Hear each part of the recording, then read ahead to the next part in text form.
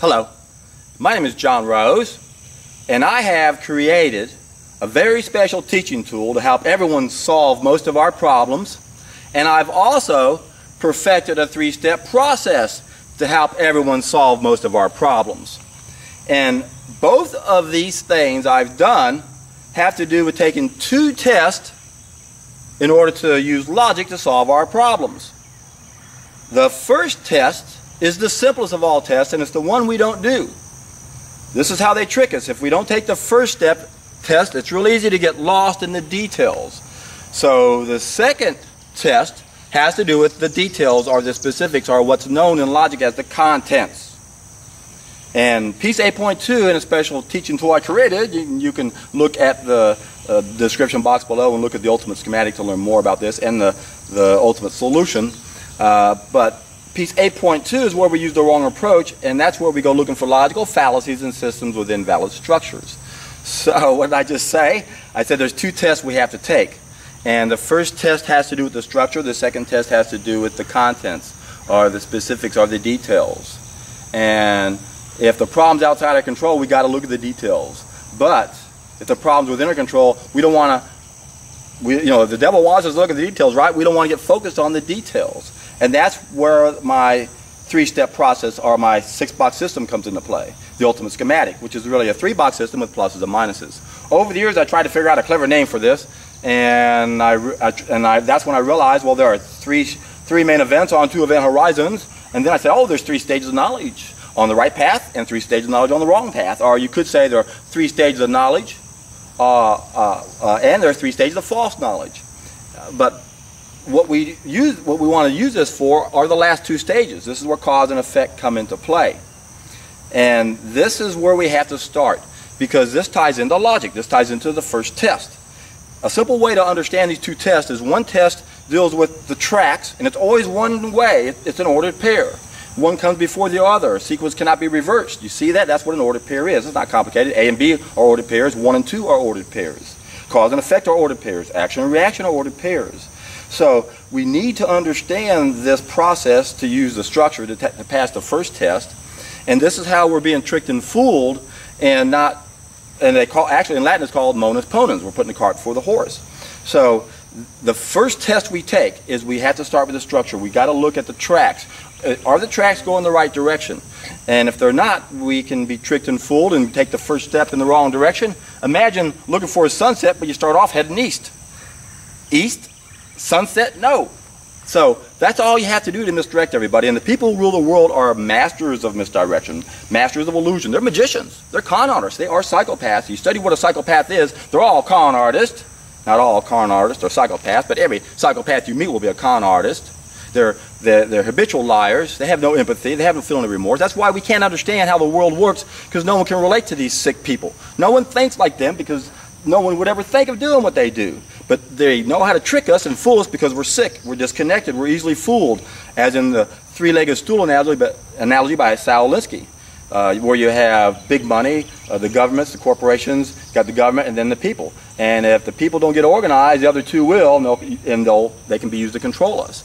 So we're being controlled, we're being manipulated. All has to do with our belief system. Don't trust anything in your belief system. I've been trying to illustrate how you can't prove, you can't trust that. That's why I'm bringing up odd, bizarre examples. I know everyone's going to go, oh my God, I want to, I'm going to unsubscribe to this guy now. I can't believe he thinks like that. And the point is, you have to realize you can't trust your belief system.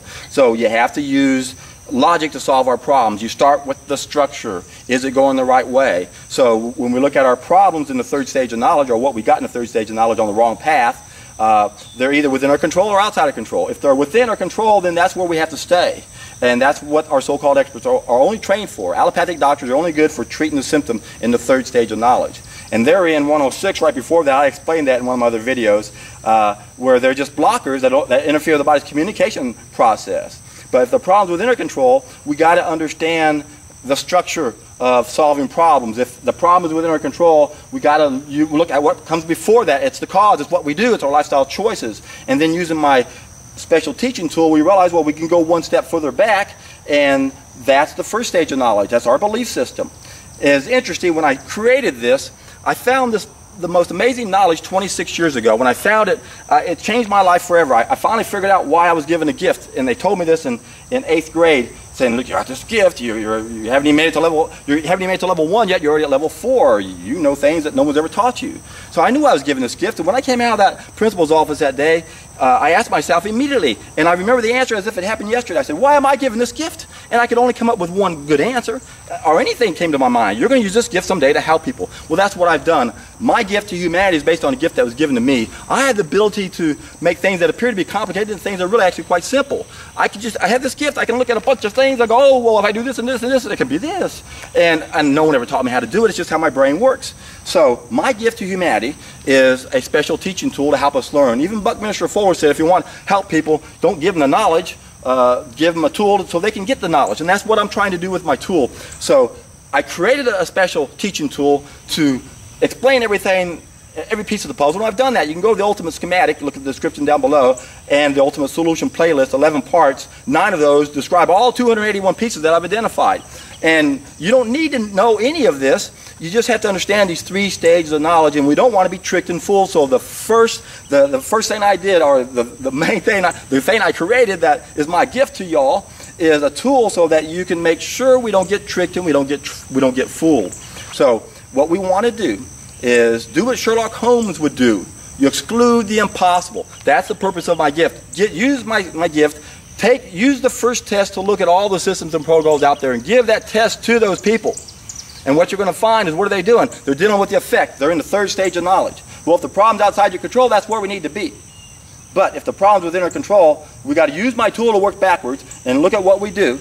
And the problem is we don't have the, or we lack the knowledge to be able to differentiate between a problem that's within our control and outside our control. So when we look at what we do, we don't think we're doing anything wrong. See, this is the problem. Most of us are doing things we think are okay, but they're not okay. They're wrong. They're the reason why we have so many problems. But we're addicted to these mistakes. We're in denial about it. It's one of the most difficult messages I've ever had to, to help people understand because people literally shut their brain off when they don't want to hear something uh, that they don't want to hear. That's why I, I initially told my message without even using the word food and diet. So we're making five main mistakes. Why did I do that? I'm being vague on purpose to keep people from shutting down their frontal lobe. So as soon as you mention the word food, for a lot of people, they tune out. Now, if I want to be more popular, I'll just focus on certain diets and then I'll have a following. But I, am not as concerned with those people that already know this. I'm trying to get all those other bozos out there that have no idea. And again, you shut off their brain. So my special teaching tool will, before we even look at the specifics, and that's the key. Piece 8.2, we use the wrong approach whenever we go looking for the logical fallacies in the specifics or in the details or in the contents. Don't start there. So you've got logic and you've got the train is the tracks, uh, or, the, or the structure is the tracks, and then the train is the contents. So you got tracks in a train, we got the structure and we got the specifics, the, the, the, the, contents, the details.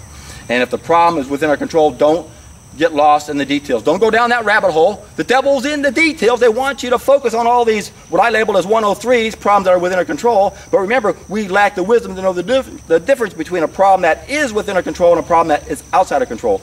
And this is evident everywhere you go.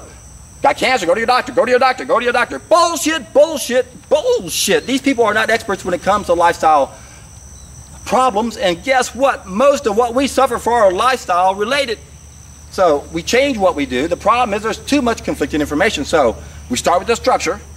We make sure that they're not using an invalid structure. So what we do is we can exclude the impossible, realize, oh my God, every system out there is treating the symptom. So they fail that test. I don't need to look at their contents. You see how simple this makes everything? We just made things extremely simple now because now we don't have to go looking for a logical fallacy in a system that might not even have one. Oh, I can't find the flaw. Well, wait a second, they failed the first test, don't you see? So use my special teaching tool to uh, just simply understand the three stages of knowledge, and that way you won't get tricked and fooled and, and get stuck in the third stage when we need to be looking at what we do and what we think. So I've created a three uh, or a three box system of pluses and minuses, a six box system, a special teaching tool, the ultimate schematic to prove the structure. And then I perfected a three step process so that you can prove the specifics or the details or the contents. There's very little I can say to convince enough people that what I'm saying is true, but every one of y'all can prove this to yourself. The problem is, it's difficult to evaluate things as long as we're filthy. Remember the old saying, you don't put new wine in an old container? And it reminds me of a story uh, of, of, Arnold Ehret. When I met this one woman, I told her everything I was doing. I said, I'm, I'm doing these juice fasts. I'm documenting all the stuff that come down to me. She goes, wow, you remind me of Arnold Ehret. And she handed me all those books.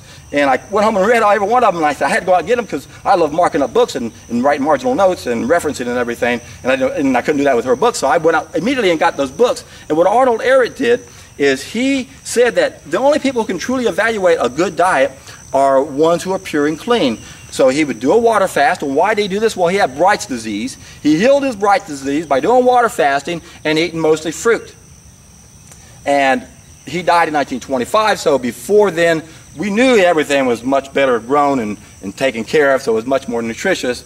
But he understood one simple fact is that you got to be clean to evaluate foods. And what he did is he experimented on himself. And what he would do is he would he would do a water fast, get clean inside, and said, well, let me try diet A, diet B, diet C. Each different time I would do the fast. And I'll cut on myself. I'll record how much it hurt and how much it bled and how fast it healed. And with diet A, man, it hurt a bunch. It bled a lot, took forever to heal. But guess what happened when he when he used the diet that healed himself? It hardly hurt at all. It barely bled and it healed immediately practically or right away. So the point of this story is you got to get clean before you can really evaluate the contents. Once again, you start with the structure. Use my tool to make sure you don't get tricked and fooled and believe in allopathic doctors or, or acupuncture or homeopathic uh, uh, medicine or Ayurvedic medicine or traditional Chinese medicine. They're all in the third stage, uh, but they're doing it because you can't change everything overnight. Some of the things that are doing that we have to realize applies to piece 35. I, have explained that in this other video. You can look down below or uh, uh, add a, uh, a link here you can click to where I explain what that's all about. But otherwise, these systems are not the solution. The, the, we have to realize that if, if these, if these problems are, are self-inflicted, then we've got to change what we're doing. So you got to get clean first. That's number one. And the problem with water fasting nowadays is it's not as safe as it used to be, and I'll explain all that in this video. Click here and you can go to that video.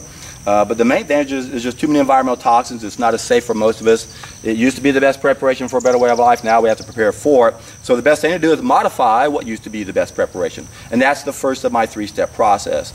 Uh, look down below and look for the first step and go to that link and that will be a seminar I gave explaining how to do the first of this three-step process. Uh, there's really only one thing we have to do. Uh, we have to satisfy two groups of needs, but most of us are not willing and able to do that, which is why I added two preliminary steps, uh, thereby perfecting this three-step process that I'm telling you about.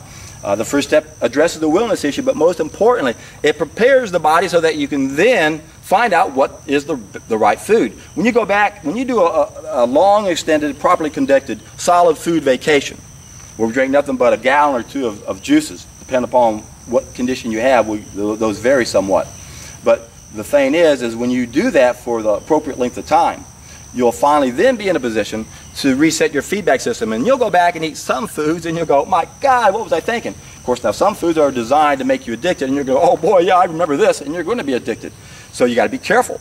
Uh, but the point is, is when you do go back to eating the food we're meant to eat, food tastes so good, your taste buds quiver. In fact, when I eat now, about half the times I eat, uh, my taste buds just start quivering. It's like, whoa, that's so intense. I love it.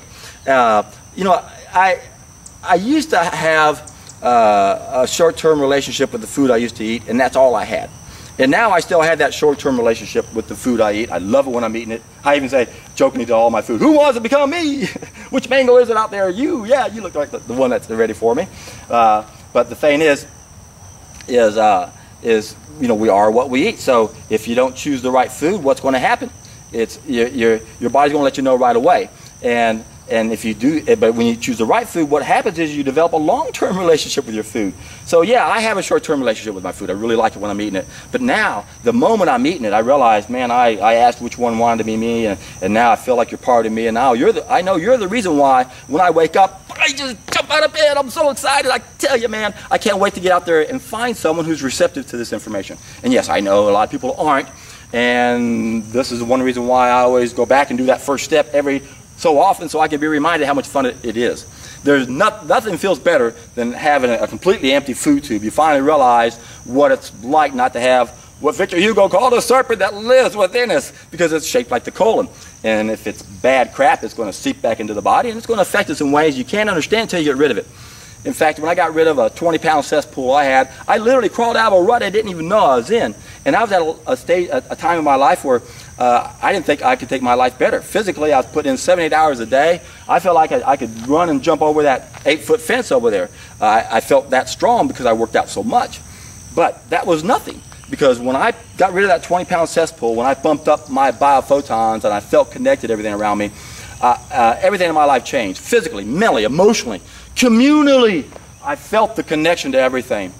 And I realized, God, if everyone could feel this good, what would happen to this planet? I know what would happen. No one would join the Progerian class and allow the system to continue the way it is. We couldn't be controlled. Saul Alinsky's three-legged stool analogy, there's only one way for us to get organized. It ain't going to be done mentally. We've got the wrong mentality, and there's only one way to change our mentality. We've got to get reconnected, which is what the first of my three step process does. So if you haven't done this yet, what are you waiting for? Come on, man. Take one week out of your life. Come on, I challenge you. One week out of your life to, to at least have the light bulb go off over your head, and I guarantee you it will. I've coached thousands of people, and everyone's blown away at the fact that nothing's going in, but things are coming out. And you want to go the distance. It took me two years to figure that one out. And when you do go the distance, you'll have an aha moment, especially if you have a lot of health problems, because most, if not every one of them, are going away. Are going to go away. Now, remember, there's two groups of needs we have to satisfy. The first step addresses the first group of needs, but when properly done, it also addresses the second group of needs because we have to realize that plays a role. But the point here is, after we do the first step, we still might not be where we need to be because we have damaged our body. This is where that second group of needs comes into play. See, we've made mistakes, and that's damaged ourselves and society and the environment. That's why we got to do damage control. The society screwed up. Look what we got. Who? Someone else owns our airways?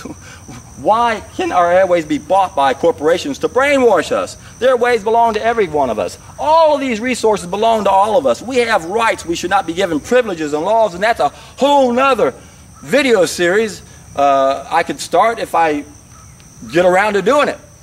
And we need to understand that we should all file a class action lawsuit. Virtually every contract we've entered is designed to take away our control. Again, most of us have no idea how many false beliefs we have. That's why I say question everything. Don't believe anything I say, but you can test it. Try this out for yourself. And again, one week is all I'm asking. It's a challenge. I, I challenge you, if you haven't done this yet, one week, if you don't want to invest in a juicer, do the master, uh, Stanley Burroughs Master Cleanser, the lemonade fast, where you drink 9 to 12 glasses of lemonade drink using 2 tablespoons of lemon juice or lime juice, 2 tablespoons, the original recipe called for grade B maple syrup.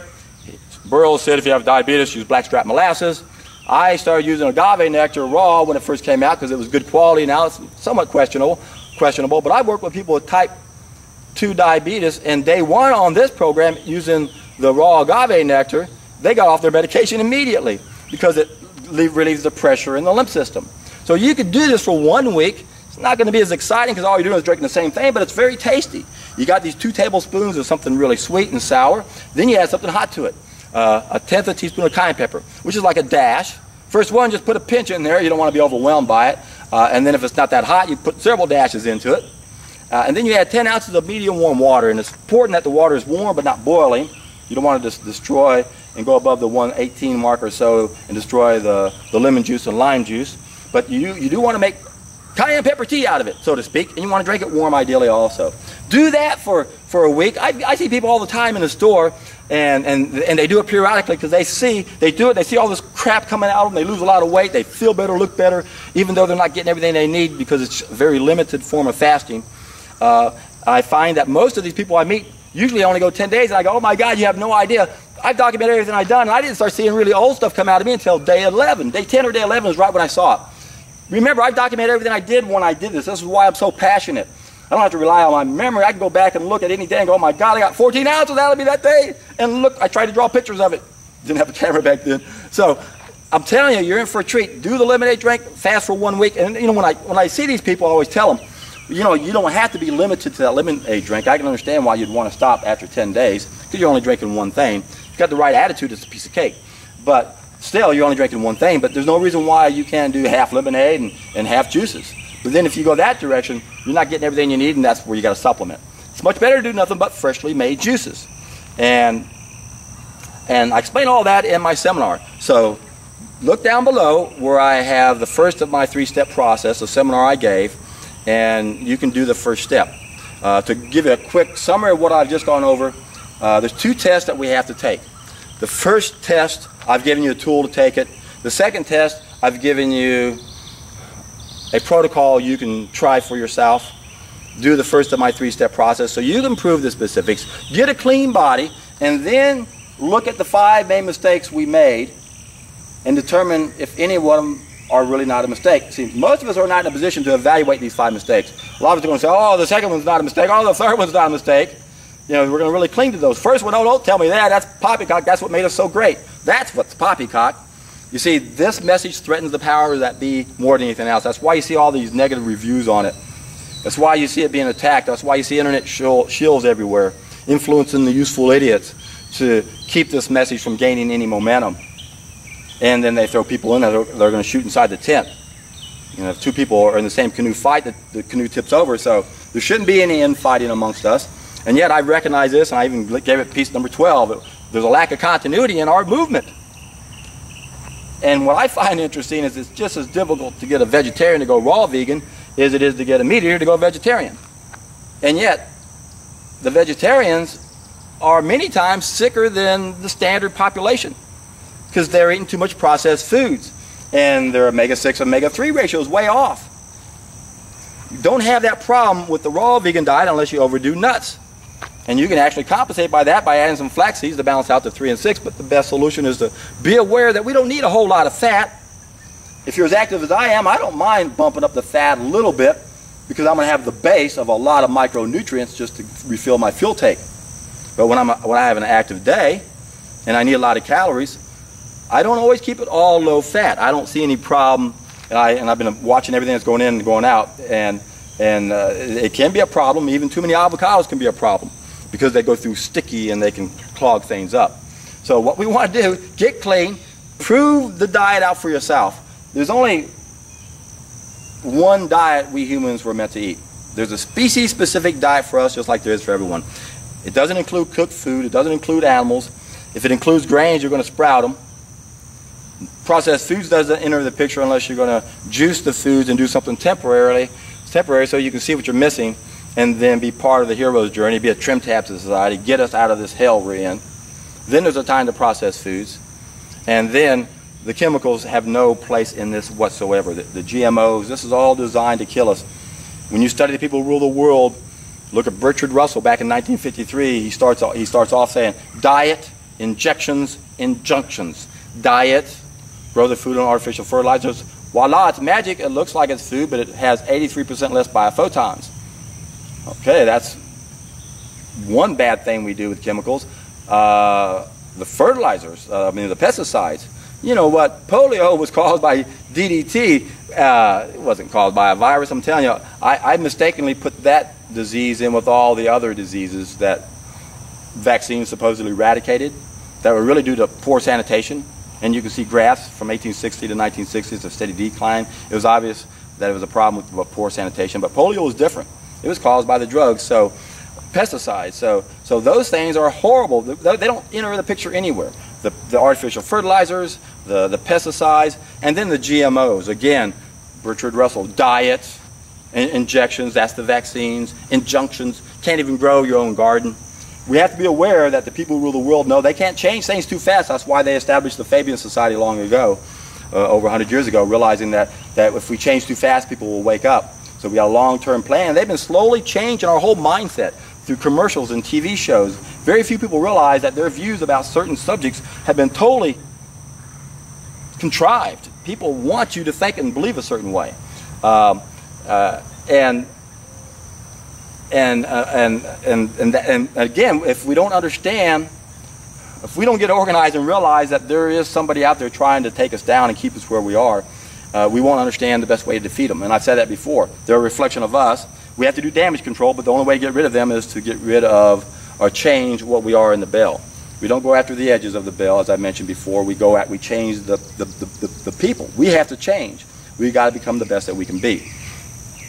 So you don't use the, uh, the poisons, the pesticides, the GMOs, the injections, uh, and then the injunctions. And this is all how they're going to control us in the future. Again, the people who rule the world have been paying attention to us for a long time. They have access to something we don't have, accurate history. We have no idea what happened last century.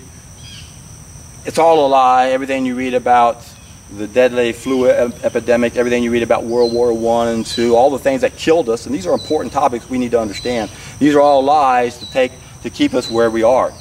And we got to challenge our belief system uh, and, and realize that that's, what, that's partly what's keeping us where we are. So uh, it's interesting when you look at the Fabian Society. I mentioned George Orwell the other day. Uh, Aldous Huxley also both these two gentlemen were part of the Fabian Society, so the Brave New World in 1984 did not come out of the imaginations of these two men. They were part of the Fabian Society. They knew what was going on. And, uh, and Huxley was an insider that stayed an insider. Orwell wanted to help warn everybody what's going on. They killed him the same year to set an example saying, we'll let you write that book. We're not afraid of what these idiots out there do because they're never going to figure it out. But as an example, everyone else will kill you and they'll know not to follow up on what you did. So we have to take responsibility. We have to question all of our beliefs that take away our responsibility. You can use my special teaching tool and look at the structure and realize, my God, we're, we're putting the cart before the horse. We don't want to do that. The content's too confusing. There's more confusion on this subject than there is on anything else. I even did a video, Are You Confused? Look down below in the description box if you want to watch that. Uh, so what do we do? You do what Aristotle would say. Believe only your own experience. There's no fact like a fact learned from your own life. But first, you don't want to put new wine in an old container. You got to clean out your system, prepare it so you can then understand what is the ideal diet. And that will take you to the first of my three-step process. And, and I've coached too many people. I've done it myself too many times. And I know one thing for sure. When you do this, you are in for a treat.